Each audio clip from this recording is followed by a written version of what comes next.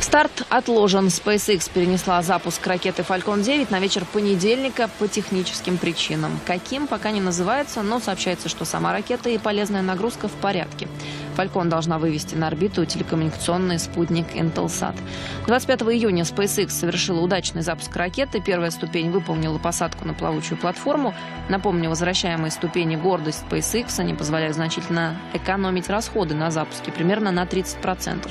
Правда, усадить носитель на платформу удается не всегда. Первая удачная попытка повторного использования ступени состоялась 30 марта этого года.